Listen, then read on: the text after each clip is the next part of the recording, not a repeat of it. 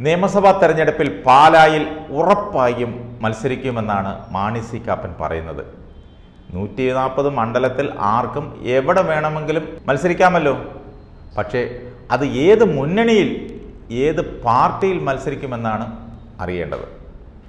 N C P സംസ്ഥാന അധ്യക്ഷൻ T P Peethambaran മാസ്റ്റർക്കൊപ്പം പാർട്ടി ദേശീയ അധ്യക്ഷൻ ശരത് പവാറിനെ കണ്ട ശേഷം മാധ്യമങ്ങളോടാണ് കാപ്പൻ ഈ കാര്യം പറഞ്ഞത്.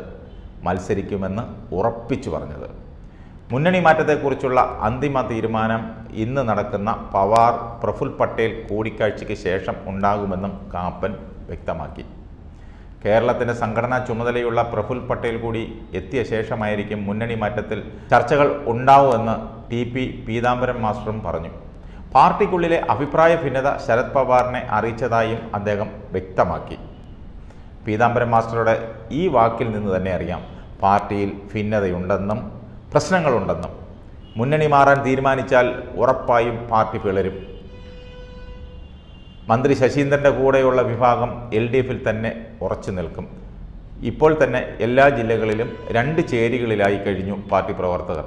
ഒന്നാമതേ ഒരു K S R T C ബസ്സിൽ കയറാനുള്ള ആളുകളേ ഉള്ളൂ അത് രണ്ടായി പിരിഞ്ഞാൽ രണ്ട് ഓട്ടോറിക്ഷയിൽ കയറാം അതേസമയം മാണി സി കാപ്പിനെ കോൺഗ്രസ് ഹൈക്കമാൻഡ് സ്വാഗതം ചെയ്തു.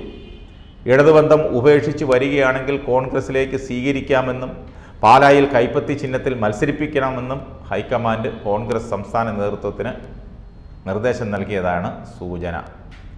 കോൺഗ്രസ് പ്രവേശനത്തിന് ഹൈക്കമാൻഡ് അനുമതി നൽകിയെങ്കിലും ഇപ്പോഴും ഇക്കാര്യത്തിൽ വ്യക്തത വന്നിട്ടില്ല. മാണി സി കാപ്പൻ മാത്രമാണോ അതോ എൻ സി പി ഒന്നാകെ യു ഡി എഫിലേക്ക് വരുമോ എന്നതിനെ അനുസരിച്ചായിരിക്കും ബാക്കി കാര്യങ്ങൾ തീരുമാനിക്കുക. അതുപോലെ തന്നെ എ കെ ശശീന്ദ്രൻ കോൺഗ്രസ് എസിലേക്ക് പോകുമെന്ന് കേട്ടതായും കാപ്പൻ പറഞ്ഞു. അത് കാപ്പന്റെ ഒരു അടവാണ്. എന്തായാലും ശശീന്ദ്രൻ പക്ഷം യു ഡി എഫിലേക്ക് ഇല്ലെന്ന് ഉറപ്പായ സാഹചര്യത്തിൽ ശരത് പവാറിന്റെ നിലപാടാണ് ഇപ്പോൾ എല്ലാവരും ഉറ്റുനോക്കുന്നത്. എൻ സി പി ഇടതുമുന്നണി വിടുന്നത് സംബന്ധിച്ച് ദേശീയ നേതൃത്വം ഇതുവരെ കൃത്യമായ ഒരു തീരുമാനം എടുത്തിട്ടില്ല.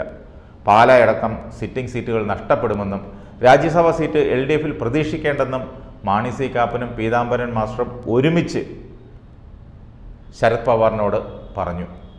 എന്നാൽ കേരളത്തിൽ ഇടതു മുന്നണിക്ക് തുടർഭരണം ലഭിക്കാൻ സാധ്യതയുണ്ടെന്ന് ശരത് പവാറിന് അറിയാം അതുകൊണ്ടാണ് മുന്നണി വിടുന്നതിൽ പച്ചക്കൊടി കാണിക്കാൻ അദ്ദേഹത്തെ പിന്നോട്ട് വലിക്കുന്നത്.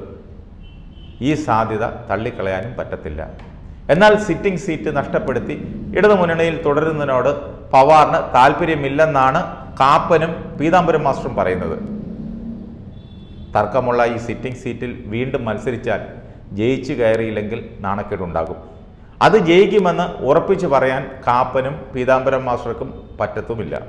എൽ ഡി എഫ് സ്ഥാനാർത്ഥിയായിയാണ് കാപ്പൻ മത്സരിക്കുന്നതെങ്കിൽ കഴിഞ്ഞ തവണത്തെ വോട്ടും അതിനൊപ്പം തന്നെ മാണി ഗ്രൂപ്പിന്റെ വോട്ടും കിട്ടിയാൽ ഭയങ്കര പോഷത്തിൽ അതായത് കേരളത്തിലെ ഏറ്റവും വലിയ ഭൂരിപക്ഷത്തിൽ ജയിക്കാനാകും.